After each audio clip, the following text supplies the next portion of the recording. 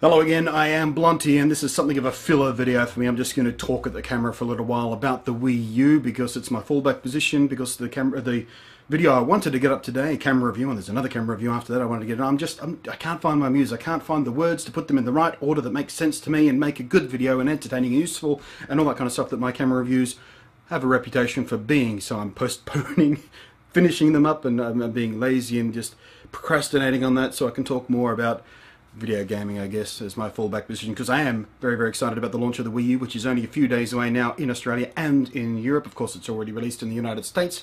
And like I said in other videos, if you're a long-time watcher, I've been watching lots of streaming game content of people playing the Wii U and various games and exploring the Miiverse and everything. I'm very, very excited about it. It's been a very strange console launch for me, because in the past, like I've been through several console launches now, and eh, when they first announced it, you go, new console, new console, and more information, more information, give me, give me, give me, and that you know ramps up to the launch, and you go at launch, and then you're inevitably a little bit let down by some of the launch games, and but then things get good again, and that's kind of what I expected. This, I mean, that's that's not uh, what happened to me this time when it was first announced. I was like, eh, interesting. Let's see where it goes. Mm. And then as news dribbled out, I wasn't very excited. I wasn't very excited. It was interesting, but I wasn't mm, excited about it.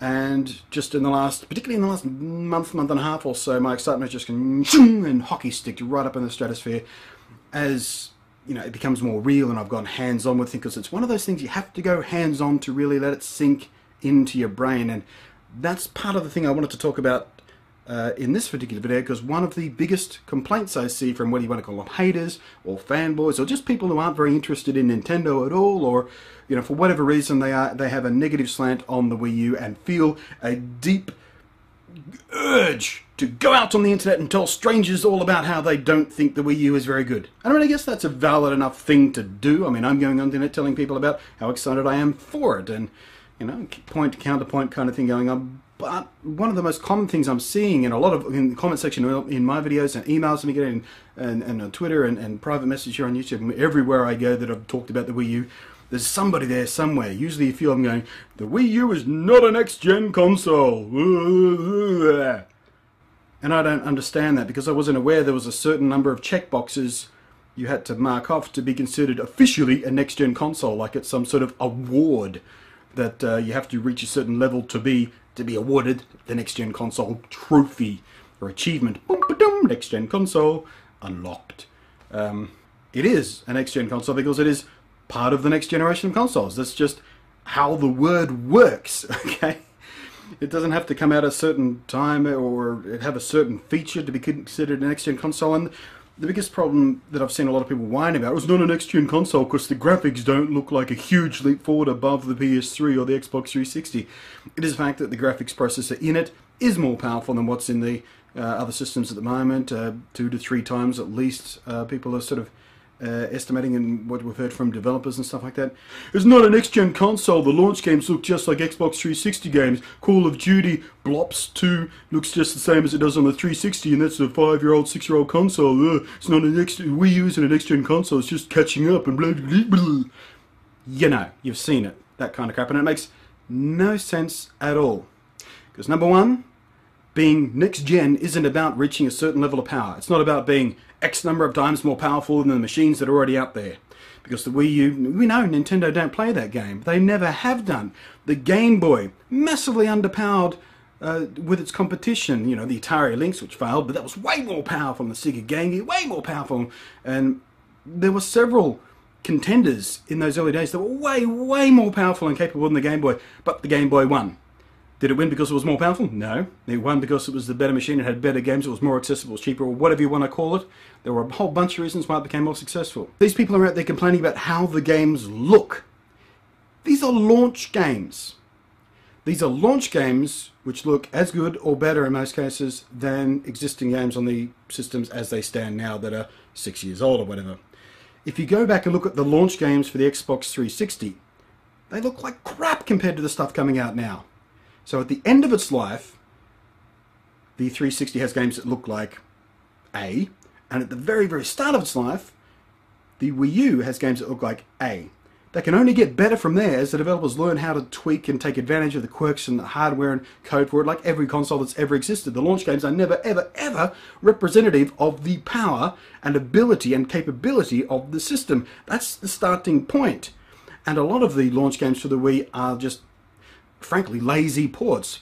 Batman Arkham City, it's got some very interesting stuff going on with that second screen and everything. Very interesting mechanics added, bolted onto the existing game.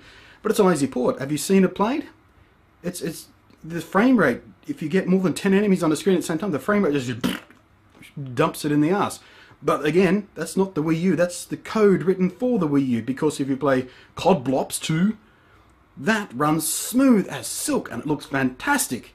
And that's launch game looking as fantastic or better than six-year-old hardware uh, with everything tweaked and enhanced, and they've wrung out every skerrick of power they can possibly get from that machine and they've made it work on day one on launch day. I mean, that's you cannot judge the power of a console from the launch day games. So, all my rambling done. Take a breath.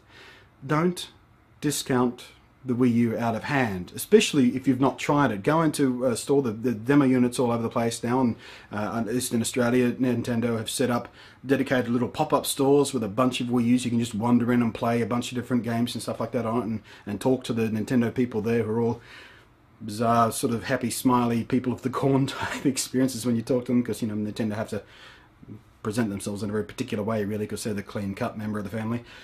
Um, but yeah, definitely go hands on with it before you start poo pooing it, and and wait for a friend to buy one to go around the house and spend you know spend a weekend playing with it or spend an evening playing with it, and it's it's, it's just not fair to yourself or anybody to just go, well, doesn't the launch games don't look that much better than the games that are out there right now? Wii U, because you just come off as a bit of a knob, really. Um, it's like I said in one of my other videos. Remember when everyone was going, oh, the iPad? Who would want a giant iPod Touch? That's such a stupid idea. Who wants a giant iPod Touch?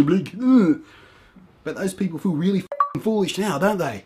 They must feel like colossal quads because the iPad took the world by storm and then everybody else went, the iPad, uh, we've got to do our own version of the tablet and, and try and beat them at their own game. To rush something out the door. And for years, Android tablets were horrible things, cheap and nasty and pathetic, and it's only now, in the last few months at least, with Jelly Bean and the Nexus 7, that Nexus, uh, that Android has really become a serious threat to Apple. I mean, my Nexus 7 is brilliant, I love it. iPad is still, you know, the king in many people's minds, and I think that's where Nintendo want to set themselves up to be, and that's what they did with the motion controls. They came out with the Wii, and everyone was laughing at them. Oh, waggle gaming, waggle gaming, how stupid waggle gaming and then it became wildly popular and uh, Microsoft and Sony went we had our chance to buy that technology and we said no don't be stupid and now we have to rush around and figure out our own way to do it oh Kinect and oh, PlayStation Move and oh. don't write off Nintendo because they will constantly surprise you. It's never a safe bet to bet against Nintendo. Sure they've had some massive failures uh, in the marketplace you know stuff that seems interesting but just didn't didn't grab a hold of anything and slid into the gutter. And was pathetic and you, can mock them about it and everything, but don't don't write them off out of hand because uh, history has shown, just based on the statistics of the function, the math of the thing, you're probably going to wind up looking a bit of an idiot if you just go, nah, Nintendo, it's just not a, not a smart move, really, not a smart bet. Clever money is on Nintendo on this one, I think. That's where my money's going. Of course, my money will also go on Microsoft's next thing and PlayStation's next thing because it's... Um, I just will. I like having all of the toys. so thanks for watching as I ramble. It's probably been way longer than I intended it to be, but let me, yeah, if you see someone whining about the Wii U and it's, it's not an next-gen console, point into this video and go, just just settle down a bit, give it a go, give it a chance. Don't be a noob, don't be don't be a hater, don't be a troll. It's boring and tedious and predictable and you're all saying the same thing and you're not very interesting. How about you just uh, measure something on its own merits? Eh? Sound like a good plan? Sounds like a good plan.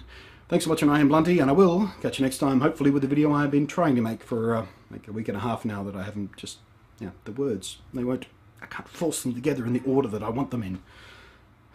Anyway, I'm going to go play some video games and procrastinate some more.